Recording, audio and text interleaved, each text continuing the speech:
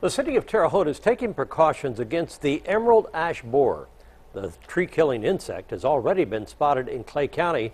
Terre Haute City officials say they would be able to fight a bug infestation by injecting pesticide underneath the bark. The cost per tree would be about $40. The treatment cost is, is relatively inexpensive, but it has to be repeated every three years to save, to keep the tree alive. The city would be able to treat 50% of the ash trees, focusing mainly on Ohio Boulevard and Wabash Avenue. For more information on the plan, you can attend a meeting tonight at 7 o'clock at the Vigo County Public Library.